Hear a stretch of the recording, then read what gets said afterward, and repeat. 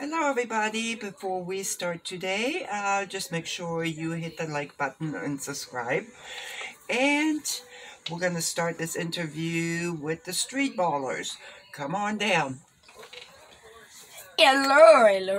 Well, you know, my name's Solo, and I am the MWC Tag Team Champions. Me and and Chuck Lantern, and we are the Street Ballers.